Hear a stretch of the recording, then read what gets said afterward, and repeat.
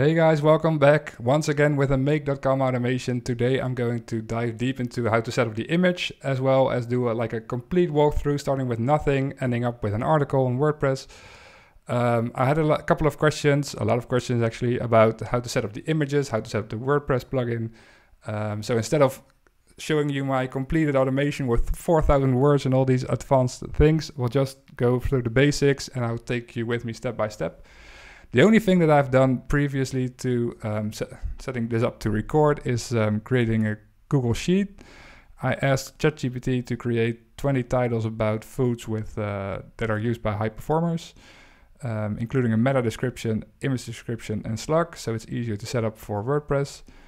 If you're not sure how to do this, just let me know and I'll make a separate video about this. But I think if you're at the level of doing automations, then this should be pretty easy to do in, uh, in ChatGPT. I just copy pasted everything into this uh, Google Sheet. Okay, let's get started. We're starting off with the Google Sheet. And I already know that I'm gonna make a slight fool out of myself by setting up this automation because there's one part of the automation that doesn't work in one time, but let's see how far we can get. We'll go to my drive. I'm gonna select the image demo foods. It does have a header. I want to set the limit up to one because that means that it will only do one article at a time. And I'm gonna use the only sheet name that it has. Pretty easy stuff. Then we're going to set up the OpenAI. I'm gonna make a full tutorial out of this. So we're also gonna write like a very short article. Um, if you want to learn how to do longer articles, I've already created a video and I actually have the entire automation there that you can just download and import into make.com. But um, yeah, we're gonna write a short article. We're gonna set it to GPT 3.5 Turbo because it's super fast and cheap. The role is gonna be user. And for the prompt, I'm actually going to use this prompt that I did in my first video, which is super easy to set up. So the only thing you have to do is copy paste the prompt and then for the topic, use the Google Sheet title. And then we remove the other thing, obviously. Language is English. We're going to write a conversational tone article, answering common questions, etc., etc. This is all set up, so we press OK. Then we're going once again into the OpenAI part, but instead of using a create a completion, we're going for generate an image. And I know I'm going really slow with this, but um, I want to do this as thoroughly as I can so there are no questions. And I also notice that some people don't speak English, so hopefully by showing them, it's easier to do it. Um, so yeah, for the prompt, we're gonna go for the image description. Size doesn't really matter. I'll use 512 by 512 because it's big enough for my website. And for the response format, we're gonna pick URL. Now this is gonna be a thing, um, you'll see, but we're gonna do some tricky stuff to set this up correctly. Then finally, we're going to connect everything to WordPress. And before going into WordPress, create a post. The thing that you will need is this plugin called Auto Upload Images. And what it does is that if you include an image by URL, it will automatically download the image to your own library so that you can use it however you would like and it doesn't disappear. Because if you only use the URL from um, DALL-E, either doesn't work at all or it disappears after I think 24 hours or something. So you, you need to have this plugin installed called Auto Upload Images. You just go to Add New Plugin, um, press Install Now, and then press Active and uh, or Activate, and then it's all set up. You don't need to do anything else. Okay, back to the automation. Um, so we have the title from the Google Sheet, which is title.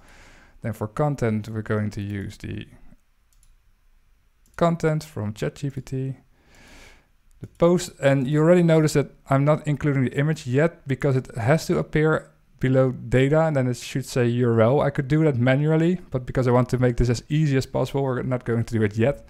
Uh, we're gonna run the automation once and then it should appear and then we can add the image in the second uh, time we run it.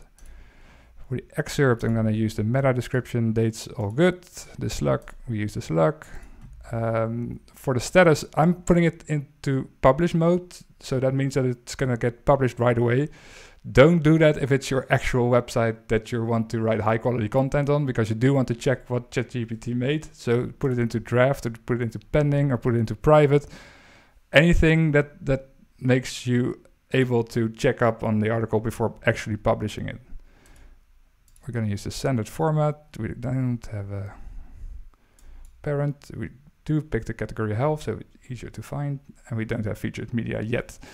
I might go into featured media because there's an other plugin that you can use that sets the image that you include in your post as featured image, but it's it's pretty easy and if, I don't think it's that much value for this automation. So everything is set up. It should now create one post uh, without an image because I didn't include the URL yet. Um, yeah, so just to make sure, this is my current blog. The latest one is about Litecoin and Lightning Network. It should now create an article about the fuel behind high performers top 10 power foods. Um, and we're not gonna get the image because I didn't include. Well, we're gonna get the image, but it's not in the blog post.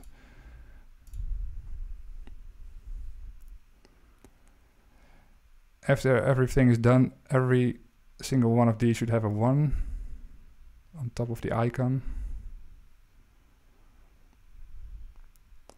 Yep, we're all done. So if you refresh the blog, we can see that it now has a new article with a Q&A and a top 10 and some other stuff about balanced diets. The most important thing now is that we do have the output in URL mode, so we should be able to see the output here. So this is where it gets interesting. Now we're able to easily add the image, which we could have already done without doing it the easy way. So we just include some simple HTML. Oh. Image src. Oh, then use the equator sign. And then select the URL. Close it with a bracket. And then it's not a bracket, it's something else. I don't know. I'm not native English, so. Um, this is it. This is what you'll need. I'll also include this in the description. I think we're all set. Let's rerun the entire automation. To now go to the second article, which is caffeine and performance, how elite achievers can uh, use coffee and tea. And the image description is a steaming cup of coffee next to a tea set. We'll see. Gonna go back to the blog page and wait for the automation to uh, complete. And even though we're using GPT 3.5 Turbo, it's still pretty slow. But hey, it's automated, so you can go and get a cup of coffee or tea. Because apparently it's what high performers do. Everything is completed again, so if we refresh the page, there it is. The article and a nice cup of tea, which is great. So this is how you set up the entire flow, starting from the Google Sheet up until posting it or even publishing it directly on your WordPress WordPress blog. If you have any questions, feel free to uh, comment down below. I tend to reply to each and every one of them, and if there are enough of the same question, I'll probably make another video about it. Um, yeah, that's it. I think this would be very useful for the automated uh, content that people already have created. One thing that's pretty easy to do and which I would definitely recommend for SEO, and it's not publishing everything directly, is um, not just using the image src tag, but also using alt tag, and you can use ChatGPT to create decent alt tags for all your images, uh, or you can use the ones that I already have over here, because this is a perfect explanation of what the image represents.